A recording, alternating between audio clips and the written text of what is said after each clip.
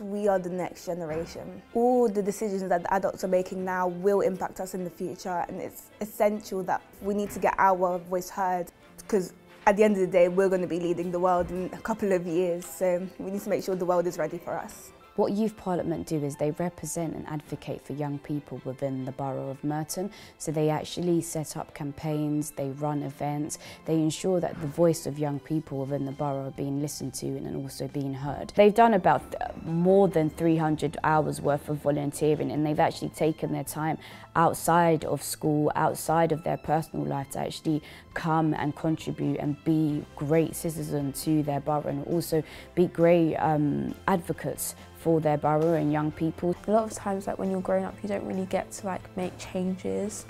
and like help a lot of people but now it's like really nice that I can access like young people and actually speak to them. So I think us being that voice for young people is very important so every young person in the borough has a voice and can say how they feel and express how they feel. I think it's important because um, we can make a real difference and make sure that young people are like really comfortable because this is their home and like they need to like make sure that they feel safe and